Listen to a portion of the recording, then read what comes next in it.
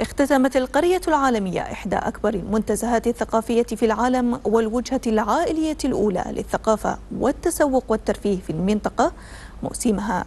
السادس والعشرين في السابع من مايو 2022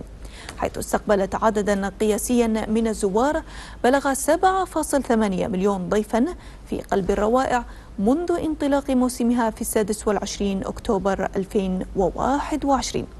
وجاء ذلك تزامنا مع الحركة السياحية النشطة التي شهدتها دولة الإمارات كواحدة من أكثر الوجهات العالمية إقبالا مع توافد ملايين الضيوف إليها لزيارة إكسبو 2020 دبي. وإتاحة الفرصة للضيوف للاستمتاع باحتفالات عيد الفطر السعيد لأول مرة في تاريخها.